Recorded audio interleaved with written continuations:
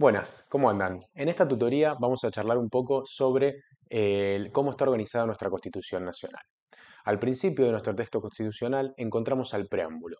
El mismo, si bien no integra el cuadro normativo de la Constitución, es un texto que orienta los fines, objetivos y propósitos de los convencionales constituyentes que pensaron, discutieron y votaron la Constitución Nacional. Nuestro preámbulo, además de reconocer los pactos preexistentes a la eh, sanción de la Constitución, enfatiza el carácter soberano del poder constituyente en tanto representante del pueblo de la nación, así como enumera seis objetivos principales, los cuales son constituir la Unión Nacional, afianzar la justicia, consolidar la paz interior, proveer a la defensa común, promover el bienestar general y asegurar los beneficios de la libertad. En esta última parte, asegura que todos estos objetivos no son solo para el pueblo de la nación, sino para todos aquellos que quieran habitar el suelo argentino, en lo que se considera un guiño al fomento de la inmigración.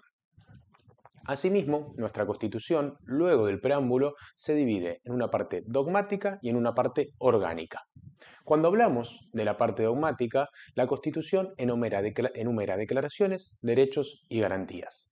Por ejemplo, en esta parte de nuestra Constitución vamos a encontrar derechos fundamentales que tenemos todas las personas, como la libertad, la igualdad ante la ley, la libertad de expresión, el derecho a la propiedad, a la intimidad y muchísimos otros más. Algunos de estos artículos de la parte dogmática de nuestra Constitución, que son los que van del artículo 37 al 43, fueron incorporados en la reforma constitucional de 1994 como nuevos derechos, declaraciones y garantías.